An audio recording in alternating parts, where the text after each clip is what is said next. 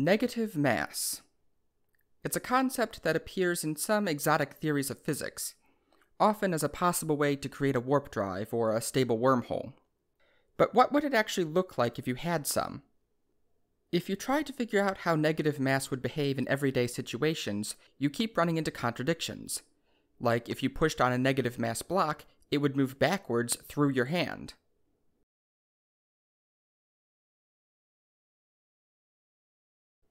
In the previous video, I simplified the concept of negative mass down to the most basic Physics 101 level to see how it would behave in collisions. This is a little different from how you might be used to doing physics. Not starting out by understanding the qualitative concepts, but just plugging negative numbers into the equations to see what happens. In that video, I showed that by plugging negative numbers into the equations for ideal collisions, you get results that are weird but not contradictory.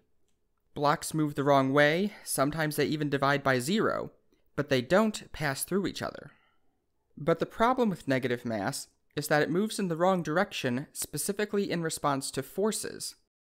And you're not actually looking at forces if you model the collision as a perfect instantaneous bounce. Collisions of real objects happen because they deform and push off each other. Elastic forces are in play, and we still haven't figured out how to apply forces to negative mass without a contradiction. How can we solve this? To calculate how real blocks collide, you'd have to figure out things like Young's modulus and the coefficient of restitution and stuff like that, and that's too complicated. At least, it's too complicated for a basic thought experiment where we're still trying to figure out how things work. But there's an easier way. Instead of looking at the behavior of elastic blocks, we can model them as rigid blocks attached to springs. This applies the same elastic forces in a more familiar setting, which we do indeed learn how to solve in Physics 101. First of all, let's just see how a mass behaves when you attach it to a spring. For a positive mass, this may be familiar to you. It's simple harmonic motion. According to Hooke's law, a spring exerts proportionally more force the farther you push it from equilibrium, so when the block slides one way, the spring pulls it back the other way in a regular oscillation. The mathematical equation for this is F equals minus kx, where k is the spring constant and x is the displacement from equilibrium. And of course, F equals ma, or more properly, F equals m dv dt. We can solve the differential equation to find out the block's motion, and it turns out to be a sine function.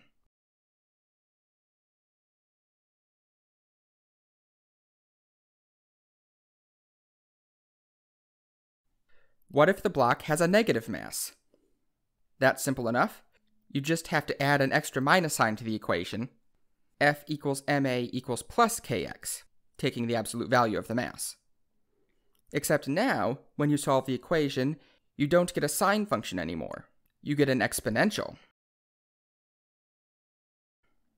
The farther the spring stretches, the harder it pulls back. But negative mass moves the wrong way in response to forces, so it just keeps going until the spring snaps. That could be a problem. In fact, that would lend credence to the original shooting through the earth problem from the previous video. But wait, this isn't the whole story yet. We are still dealing with an idealized case. This is a massless spring. It adds no inertia of its own to the motion. For that matter, it's frictionless too. It exerts a spring force, but it's lossless otherwise. How do you deal with a spring that has mass? Well, to really do it right, you'd have to figure out the forces on each little segment of spring and integrate over them, and you can probably derive a formula for an effective mass of the system or something, but that's still too complicated. We only need to figure it out on a conceptual level. And for that, we can still build a working model out of Physics 101 pieces. This is a setup that I actually don't remember seeing in Physics 101, because it would be kind of redundant there, but you can solve it using the same techniques. We're going to use a block on a spring that is pushing another block. This is equivalent to approximating all of the spring's mass being at the end of the spring, but it also lets you do something else. The original question was how you can push on a negative mass and not have it go backwards through your hand. Well, here you can take the positive block as your hand, and the spring as your arm extending to give a push. This way, we can have the spring push on a positive mass, so we have a better idea of how it operates. Except, we're still trying to push a negative mass with a rigid object here. You may be wondering what good this does. I could solve the negative block on a spring because I could plug negative numbers into the differential equation, but with this model, we're back to the problem of what happens if you give it a continuous push just with another block, which was what we were trying to find in the first place. To get out of this circular logic, we're going to use a little trick to turn that continuous push into a series of elastic collisions, something we already know how to solve for negative mass. We'll start with two positive blocks for now. First, displace the blocks away from equilibrium, so that the spring will give them a push. But then, displace the first block a little farther, so that there's a gap between them. The first block will be pushed forward and hit the second block at some non-zero speed. Calculate the result of the elastic collision. The second block will start moving forward, and the first block will bounce back. But the spring will push it forward again so that it will eventually catch up and collide again. This will repeat until the second block has enough speed and distance that the first block doesn't catch up anymore.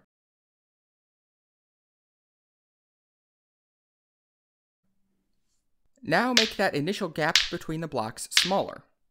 The collisions will happen closer together and at a lower relative speed. Our hope is that if we take the limit as the size of the gap approaches zero, we'll get the same result as the continuous push. And as a matter of fact, that's exactly what happens. I don't know if this is an established technique or anything, but it works. If you take the limit, the equation is exactly the same as if the blocks start out touching. At least, it works when I play them side by side. To actually prove it mathematically would be a little more complicated, so I'll leave that as an exercise to the viewer. So we've established a way to convert a continuous push to a series of elastic collisions, which still gives the same result as before. What happens if we plug negative numbers into it? And as in the last video, we're just assuming that elastic collisions still work with negative masses. There are two cases here. The first is when the negative block is smaller than the positive one, and the second is when the negative block is larger than the positive one. Remember that divide by zero error from last time? The masses can't be equal and opposite or the math breaks, so we have to check what happens on either side of that line. If the negative block is smaller, then things look close to normal. Just as with a single elastic collision, the negative block is pushed away. It doesn't go the wrong way, but the larger positive block doesn't slow down like it's supposed to. It speeds up and stretches the spring farther than it did in the case with two positive blocks. And if the masses are close to equal and opposite, just as we saw with single collisions, the effect is more extreme. Remember that in the last video, we made a hypothesis that normal forces on a negative mass are reversed. That is, they pull into the surface instead of pushing away from it. That seems to be what happens here. The positive block stretches the spring farther because the normal force is pulling it forward instead of pushing it back. This means that if you push on a small negative block with your hand, you will be able to push it normally, except you will feel your hand unaccountably pulled forward. It's not sticky or anything, you can still pull your hand back, but you will feel the block pulling on it instead of pushing. And you can do similar things with other forces like friction and gravity, and it still works out. I'll probably make a bonus video about that. Now let's look at the case where the negative mass is larger than the positive one. I saved this one for last because this is the weird one. This time, the spring isn't pushing the negative block away. The negative mass is coming towards it, compressing it further. This looks like that exponential motion we saw with only a negative mass. But that's not right. We seemed to have established that normal forces are reversed with negative mass, but now they're back to pointing their original direction again. What gives?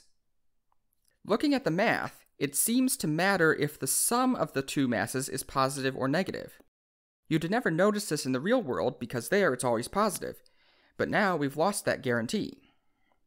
If the total mass is positive, then the negative mass exerts a negative force, which does make a sort of sense. But if the total mass is negative, then apparently it flips again back to a positive force. But how can the normal force reverse directions like that, just by changing one of the masses without flipping its sign? It's that divide by zero thing again.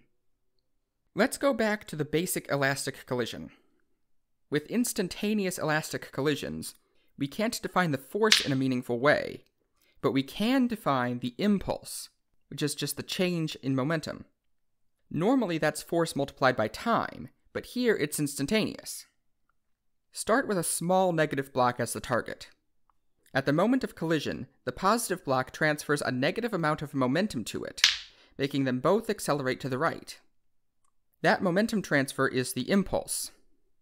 If we make the negative block larger, so that it approaches being equal and opposite to the positive one, the impulse increases.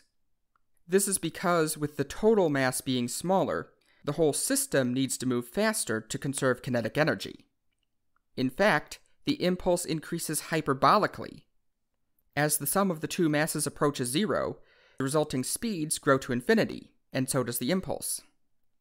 Once the negative block becomes larger than the positive one, the impulse can't be greater than infinity, so it has to flip around and come back the other way.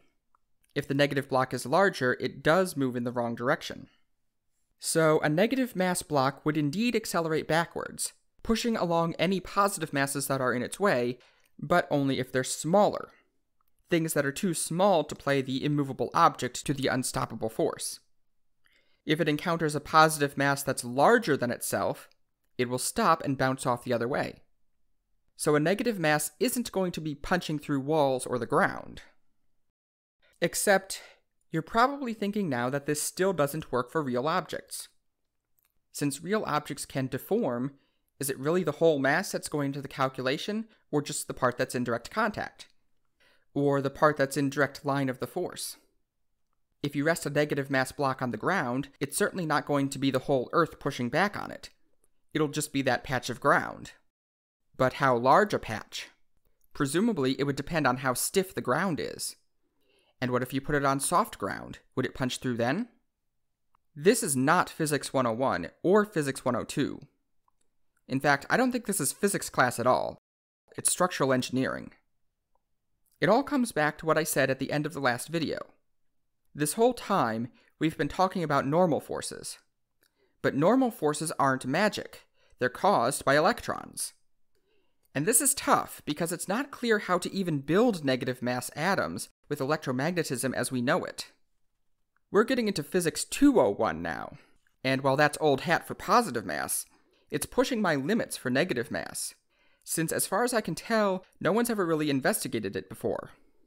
If you know of a paper where they did study this, or better yet, if you're a physicist who's interested in this question, leave a comment or contact me. But failing that, I'm going to think about it some more and try to come up with a way for it to work. And with a bit of luck, I'll be able to do a part 3 about the microphysics of negative mass sometime down the road.